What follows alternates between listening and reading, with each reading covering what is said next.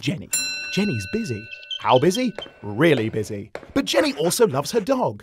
And while she's busy inventing an eco friendly rocket fuel that also teaches whales to save themselves, catching babies that happen to fall out of the sky, and solving mathematical equations to avert a nuclear holocaust, the most important thing to Jenny is that Max gets fed. How does Max get fed? Feed and go. How can you be like Jenny? You can't. No one can. But with Feed and Go, your pet will think you're like Jenny. What is Feed and Go, you ask? Feed and Go is the world's first automatic pet feeder you can access from anywhere, and it's the only pet feeder to allow you to control your pet's schedule from any mobile device. Well, there's even a webcam built in, so you can see your loved one while you're doing whatever it is that you do. Because let's face it, while Jenny's utterly marvellous, does that mean she loves her pet more than you? Hell no! So leave the world singing to Jenny and focus on the Max in your life.